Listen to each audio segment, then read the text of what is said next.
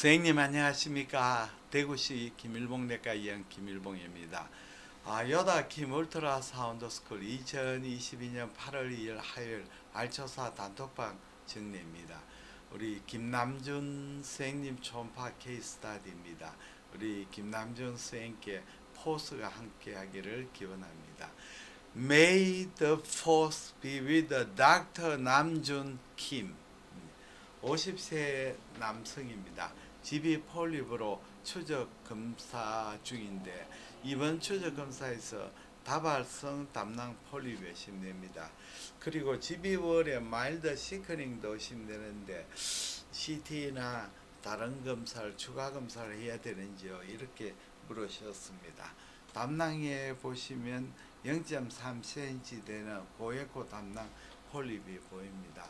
여기에 담낭의 단축상이고 장축상을 보니까 담낭의 전백과 담낭의 후백에 작은 담낭 폴립이 의심이 됩니다.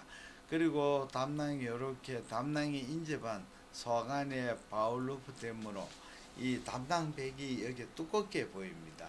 근데 실제로 담낭백이 두꺼운 것이 아니고 담낭벽은 정상인데 담낭의 body 부분 posterior wall에 이 장관이 겹쳐져서 이 담낭벽이 두꺼운 거로 오해했습니다.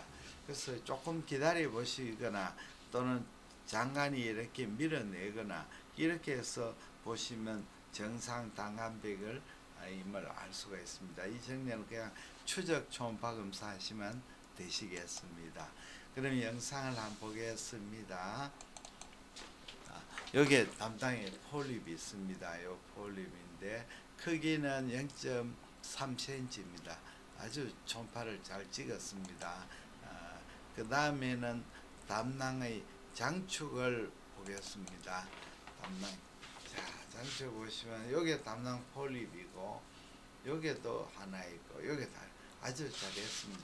세 개 보시는데 여기 이제 아까 아마도 우리가 봤는 폴립 같고 요거 요거 두 개는 또 새롭게 발견된 담낭 폴립으로 생각됩니다. 이게 fundus body neck이고 그렇게 됩니다.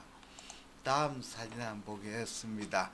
다음 사진이 선생님이 담낭벽 비후로 생각하시는 것 같습니다. 요거 보시고 담낭백 비율을 쓰는데 담낭 비율은 아닌 것 같습니다. 여기에 여기 보시면 여기 담낭이고 여기에는 스토카가 있으니까 어, 여기 담낭백이거든요. 그 뒤에 이렇게 고에코는 전부 다 장관입니다. 장관. 그래서 장관하고 겹쳐져가 그렇습니다. 요 안에 있는 거는 바일 슬러지들입니다. 바일 슬러지 담낭백입니다. 요거는 담낭백 아닙니다. 그래서 이 환자는 담낭백 비율은 없습니다. 안에 보이는 거는 예, 슬러지들이고 담낭백은 아, 정상으로 추정됩니다. 초음파를 배우시러 의사 선생님께 제가 만든 김일봉 원장 초음파 현적 개인 교수 USB입니다. 이 USB는 지금 전국에 많은 쌤들이 이 USB로 초음파 공부했습니다.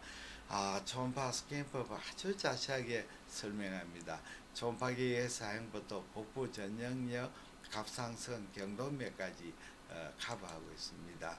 그리고 어, 장기별 질환 해설 USB 이건 대용량입니다.